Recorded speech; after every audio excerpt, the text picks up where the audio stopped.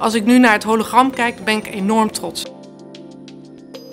Vanuit CSU zijn we continu op zoek naar mooie combinaties van high-tech en high-touch. Uh, wij willen graag onze klanten inspireren en vooral laten zien wat er ook op nou, high-tech uh, oplossingen zijn voor, uh, voor onze klanten. En met dit hologram willen we ze daarmee inspireren. Fijn dat je er bent. Samen zorgen we voor een schoon en gastvrije omgeving. Technologische innovaties gaan natuurlijk super snel.